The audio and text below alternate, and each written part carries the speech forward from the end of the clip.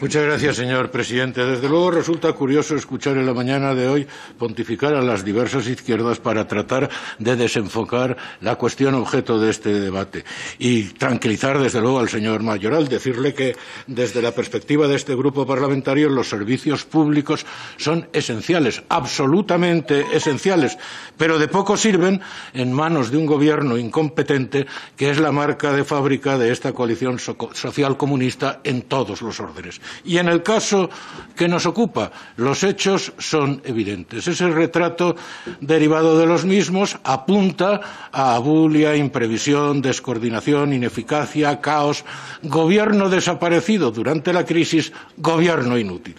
Evidencias realmente graves porque, como ha recordado, sin ir más lejos, el señor Errejón, en esta ocasión las eh, características del temporal estaban advertidas con más de una semana de anticipación por parte de los servicios especializados y también la subsiguiente bajada extrema de las temperaturas con las consecuencias que de ello iban a derivarse. Tiempo bastante, pues, para haber planteado un adecuado despliegue de medios y una estrategia de respuesta unando todos los recursos gubernamentales en coordinación con las administraciones autonómicas y locales. Y nada de esto se hizo. Y como nada de esto se hizo, la consecuencia fue vías urbanas e interurbanas impracticables, poblaciones rurales aisladas, comunicaciones interrumpidas y, lo más grave, abandono de los ciudadanos a su suerte. En conjunto, un balance de gestión de la crisis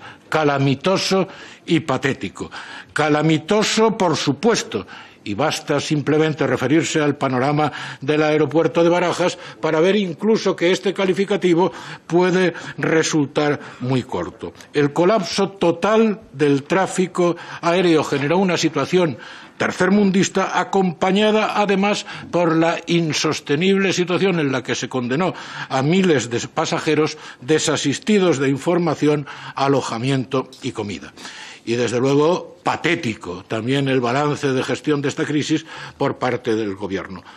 Patético, por supuesto, el descontrol de la crisis acreditado por el Ministerio del Interior. Primero, porque se negó a elevar a situación dos la alerta para, dijo a posteriori, no generar alarmismo.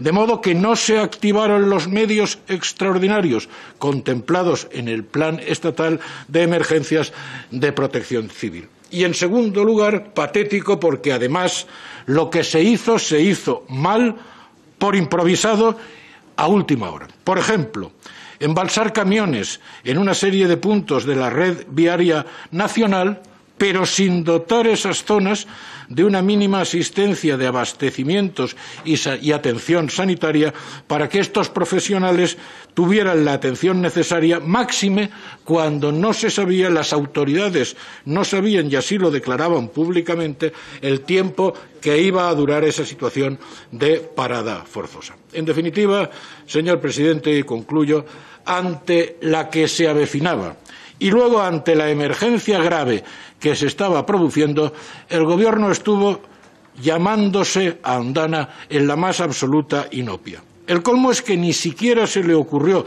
la activación de la UME, que solo pasó a operar tras la solicitud al efecto de las autoridades madrileñas. Y, por supuesto, el presidente del Gobierno y el llamado vicepresidente social, es decir, el vicepresidente Iglesias, calentitos en casa sin pisar el barro.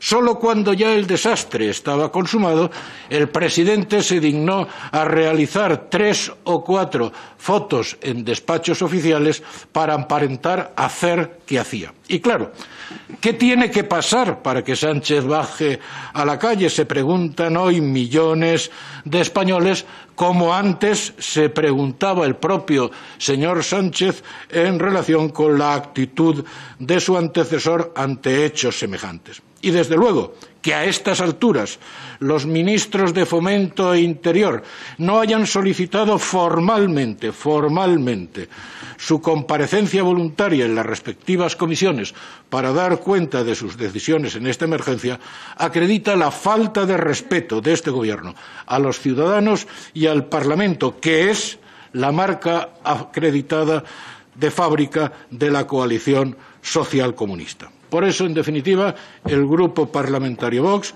apoyará las solicitudes de comparecencia formuladas por el Grupo Parlamentario Popular, entendiendo aquello de que hoy, más que nunca, el señor Sánchez es prisionero de sus palabras anteriores, de la hemeroteca y de mucha desvergüenza política. Nada más